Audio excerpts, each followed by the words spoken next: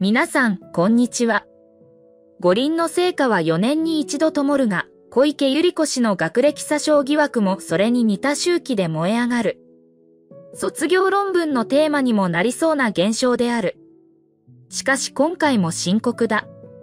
よりによって元側近が告発したからだ。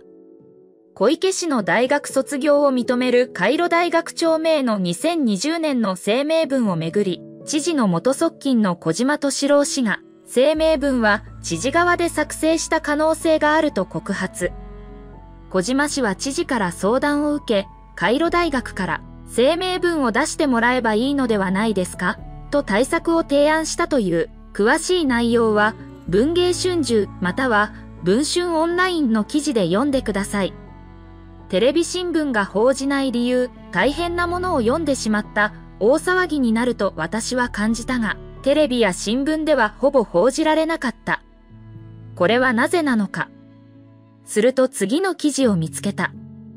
元側近の爆弾告発、主要メディア目殺のなぜ、日刊現代4月16日付、この中で民放の報道番組スタッフがコメントしている。小島氏の手記を一読した時は、小池知事はここまでやるのか、と驚きました。しかし誰が文案を作成したにせよ、知事の卒業を今もエジプト大使館とカイロ大が認めている以上、疑義を挟む小島氏の告発に乗るわけにはいかない。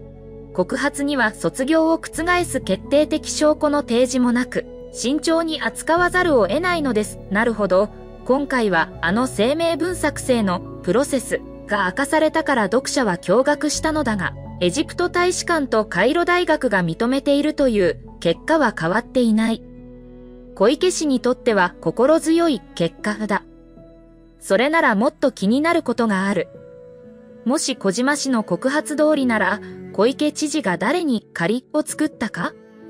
は政策にも影響していないだろうかという点だ。これは税金を納めている東京都民には直接関わってくる案件である。誰に仮を作ったか？例えば、週刊文春4月25日号には、疑惑の回路大声明によって再選を果たした小池氏は、2期目に入るやエジプト関連予算を一気に増額させている、と振り返っている。このばらまきにはどんな意味があるのか？都民としては考えてしまう。さらに小島氏の告発に戻すと、4年前の学歴詐称問題における都議会対策で、自民党の二階さんや都連には大きな借りができた。その結果、自民党よりに変節していったのでしょう。と述べている。火消しを自民重鎮らに頼ることで、仮を作ったことが政治にも影響していることになる。さらに、自分の秘密を守るために権力を保ち続ける必要も出てきた可能性もある。それゆえ、小池さんは、都議会多数派と足並みを揃え、都庁官僚の支持を得て、権力を持ち続けること自体が最優先になっています。そういえば先日、7億円の都庁プロジェクションマッピングは税金の無駄遣いではないかと SNS などで批判されたが、あれも都庁官僚の言うままと考えればなるほどと思えてくる。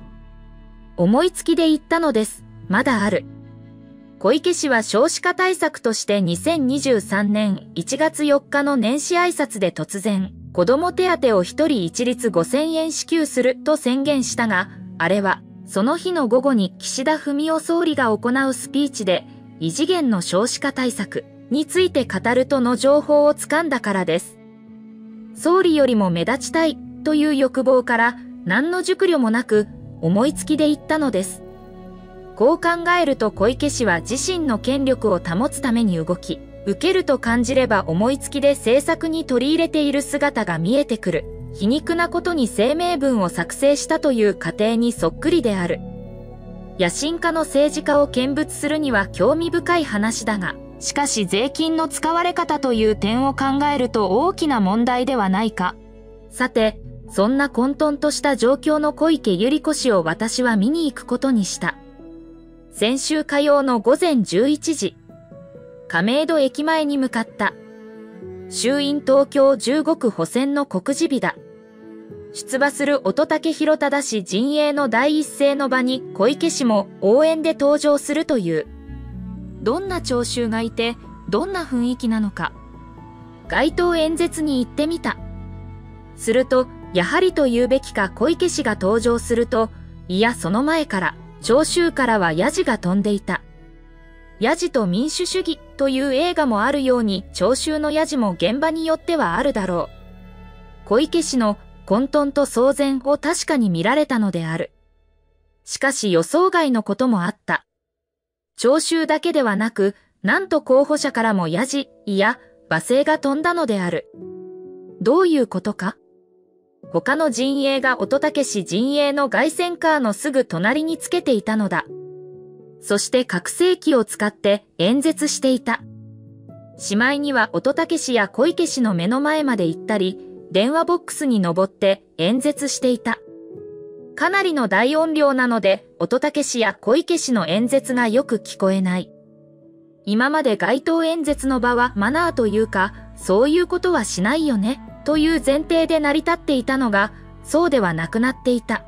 私は選挙カーが別の陣営とすれ違う時に、候補のご検討をお祈りします、とエールを送ることがわざとらしいけど大切だと思っていたが、そういうマナーが無視されてしまったら、この日の乙武氏陣営は次の凱旋スケジュールを公表していなかった。せっかくの街頭演説なのに。